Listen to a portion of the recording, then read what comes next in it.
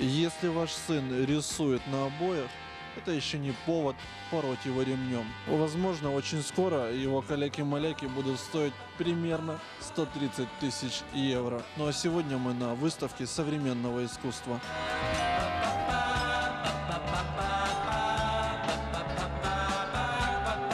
Есть ли у нас в стране люди, способные повторить подобное искусство?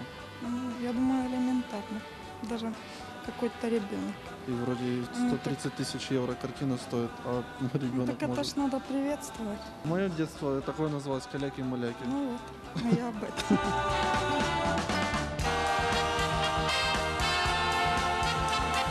Картина Арама Мазанекиса 58 года авторства «Черные створки». Эта картина, она как бы дышит.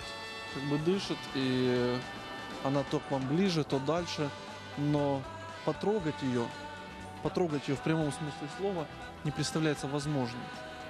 В этом и секрет этих черных створок.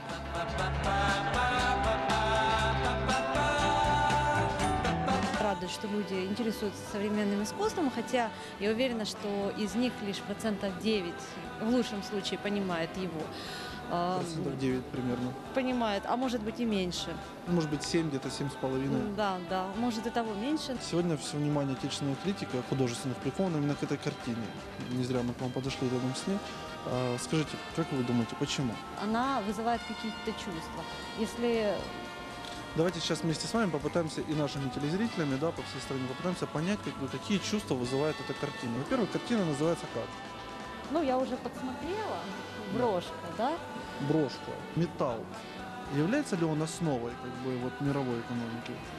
Ну, наверное, да. Человек в 82 году Уже при- это уже видела. это видел, понимаете? И сейчас эту картину привозят к нам в страну. Страна, ну, скажем, держится за счет индустри- индустрии своей. Да. Да. Именно поэтому люди приходят посмотреть на брошку как Мгм. символ металла, символ стабильности и будущего. Ну, ну вот я же я об этом говорила, что это нужно понимать, и ну как бы не каждый. Ну, Под нашими ногами еще одна инсталляция современного искусства. Пожалуйста, обратите внимание, это лапка голубя, символ мира. Автор предписывает располагать ее на полу выставочного зала. Не мешай мне, я- я про лапку голубя рассказываю. Именно на полу выставочного зала. Почему? Ну, давайте смотреть правде в глаза. Голубь никогда в жизни не пойдет по стене. Потрясающе, что многие картины без названия. Что даже название нельзя придумать. Как вам вообще выставка сегодняшняя? Дуже сподобалось. Просто в захваті різні жанри, дуже по-різному багато картин. Какие из жанров современного искусства вы вот для себя выделяете? Затрудняюсь сказати. Ну, так самый любимый, скажем, какой у вас?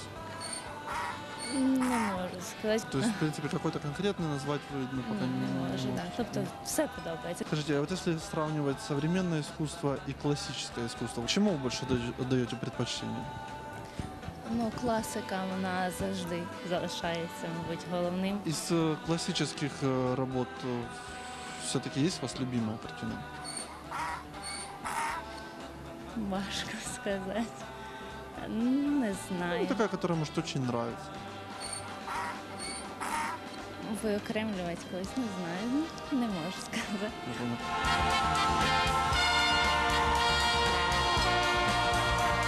Наш режиссер утверждает, что такую же картину может нарисовать его четырехлетний сын. Запросто. Только никто за это денег не заплатит. То есть вот, это, Тусовки. вот, это вот то, о чем я хотел услышать. Э, Современное искусство – это просто часть тусовки. Да, совершенно. Мне вот это все бы вам лучше все объяснили, что это такое. Тут что-то какие-то референсы идут к более ранним картинам, от тех к более ранним картинам, тех аж к Кандинскому в 1903 год какой-нибудь.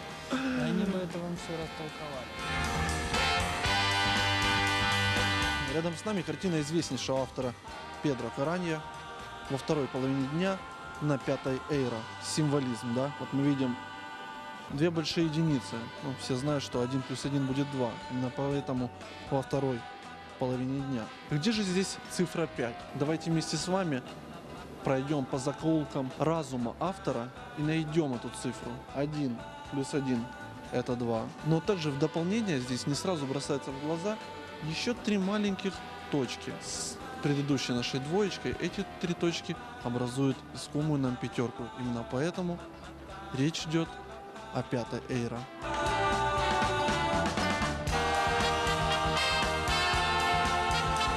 Внимание критиков отечественных направлено именно на эту картину. Не зря мы здесь находимся э, с оператором. Покажите, пожалуйста, картину. Как вы думаете, почему? Можливо, через її зміст. Да, вот дело действительно в содержании. Э, Она э, отражает положение дел в сегодняшнем мире. Здесь вот э, по, по цветам, да, это континенты. Вот коричневый это вот состояние Африки на данный момент. Видите, э, немножечко желтого это места, где сейчас идут войны. Черный, я думаю, мы с вами понимаем, о чем идет речь. Где Испания, где Италия и где Греция, у которой сейчас кризис, как автор и предсказал. Там, де темне, може бути тут, Это что? може бути навіть і Греція. Бо... Да, это абсолютно верно. Так? Да. О, Іспанія, і така Іспанія. помаранчева. И Италия это же соседнее Італія государство. теж так. Хорошо, а где в таком случае будет Норвегия? Самое э, северное государство.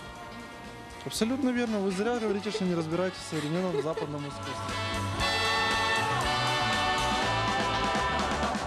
И вновь в эфире «Минутка современного искусства» с Алексеем Дурневым. Рядом с нами картина, которая символизирует собой Вселенную. Вселенную, подсмотренную автором через призму туманности Андромеды. А нет, это просто Медуза.